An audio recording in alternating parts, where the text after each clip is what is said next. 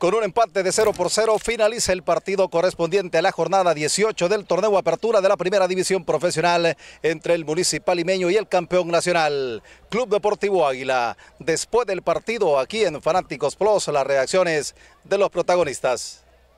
Intentamos eh, ser protagonistas y en muchos pasajes del partido pudimos y en otros pasajes, obviamente en un ida y vuelta, el limeño complicó con algunas pelotas cruzadas.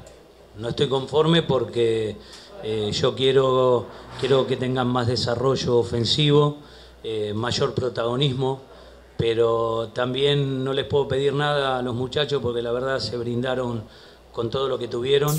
Tenemos que seguir mejorando, ¿verdad? Creo que todo el plantel está metidito, todos estamos trabajando a un 100% y si se nos toca trabajar al 200% lo vamos a hacer porque la verdad que la exigencia para nuestro club es bastante grande y creo de que es entendible y, sabemos, ¿verdad? estamos sabedores de que así va a ser y, tenemos que estar en puestos de clasificación.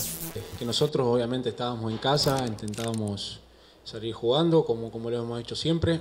Águila la verdad que, que nos sorprendió por, por la actitud que mostraron. Eh, fue un partido la verdad bastante aguerrido, no, no, no hubo tanta articulación de juego, solamente fueron lapsos por momentos.